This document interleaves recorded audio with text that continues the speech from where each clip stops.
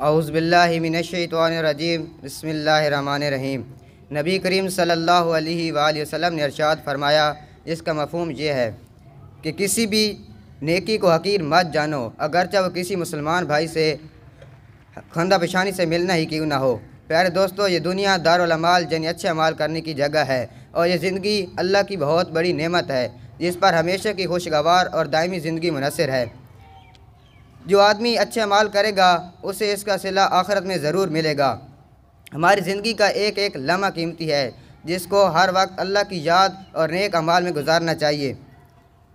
हदीस मुबारक में आप वसल्लम ने इसी बात की तरगीब दी है कि किसी मुसलमान भाई से मुस्करा कर मिलना भी नेकी है। आपके इस छोटे से अमल पर भी आपको नेकी मिलेगी और आपका आपके मुस्करा कर मिलने से दूसरे मुसलमान भाई को अपनाइत का एहसास होगा और खुश होगा कि आप आप उसकी खुशी का सबब बने। लिहाजा आपके इस अमल पर भी आ, पर भी आप अल्लाह अल्लाह की तरफ़ से आपको अजर और इनाम मिलेगा। अल्लाह ताला हमें नेक अमाल करने की तोफ़ी अता फ़रमाए आमीन।